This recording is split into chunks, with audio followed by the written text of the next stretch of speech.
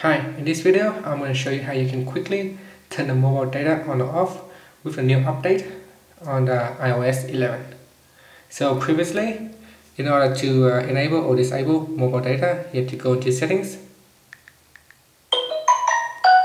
And in settings, you have to go to mobile and at the top here, you need to tap on mobile data to enable or disable mobile data. So if you're still using the old method, which is going to the settings, there is a new uh, update. So once you update your phone to iOS 11 you can just drag it up and there is a new mobile data icon. And this is basically turn mobile data on or off like so.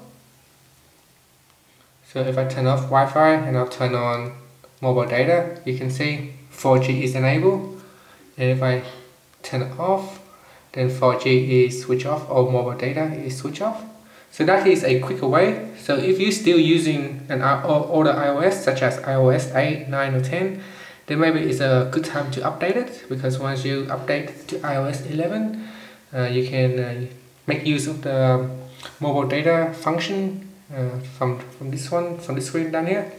So this shortcut allow you to quickly turn on or off. And that's it. Thank you for watching this video. I hope this tip uh, you time if you're still using the old methods of turning mobile data on or off. Thank you for watching this video. Please subscribe to my channel for more videos.